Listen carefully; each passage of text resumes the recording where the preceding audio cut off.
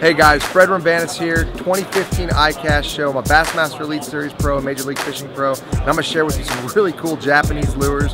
You know, I, I, a lot of my success is built around the Japanese design baits, and uh, you know, Deps is one of the baits that I throw.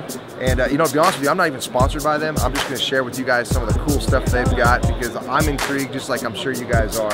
Uh, this right here is the brand new Bullshooter and I got the, uh, the pleasure to fish this at Lake Havasu earlier in the year. And you can notice this color on, on this bait. It actually kind of changes color and so lifelike. We were reeling this along the edge of the, um, the reeds at Havasu and all the big bass just came out and chased it. I mean, what a, what a fantastic lure. It's a real subtle, slow moving bait. I mean, it feels kind of heavy when you're throwing it, but as soon as it hits the water, it just kind of it's like the slowest realistic bait I've ever seen. So uh, if you guys haven't had a chance to check out that Bullshooter, here it is. Uh, some of the other baits that they've got over here at Deps, uh, you know, they're, they're well known with their frogs. The little Basirisky, this is something that I fish. I use this as a search bait a lot. In a lot of, a lot of places we go, you know, tidal situations, stuff like that. I, it's hard to get dialed in on the exact tide, but it's even harder to find the fish to get dialed in on. So a bait like this, you just casts out and he reel it in constantly. Don't have to sit there and pause and wait. This sucker just moves on top of the water.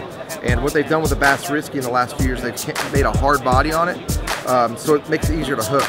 And also lands upright and don't get snagged up in the weeds. You can throw this over any kind of vegetation.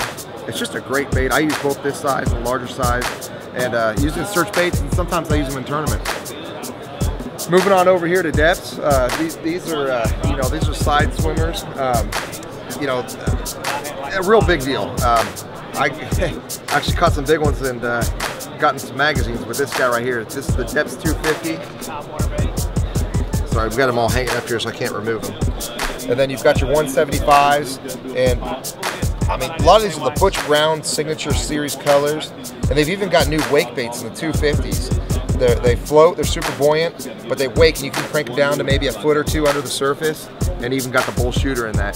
Deps has really uh, kind of elevated the level of swim bait fishing the last few years, especially in the hard bait line. And if you guys haven't checked out the Deps lineup, I mean, it's about time you do.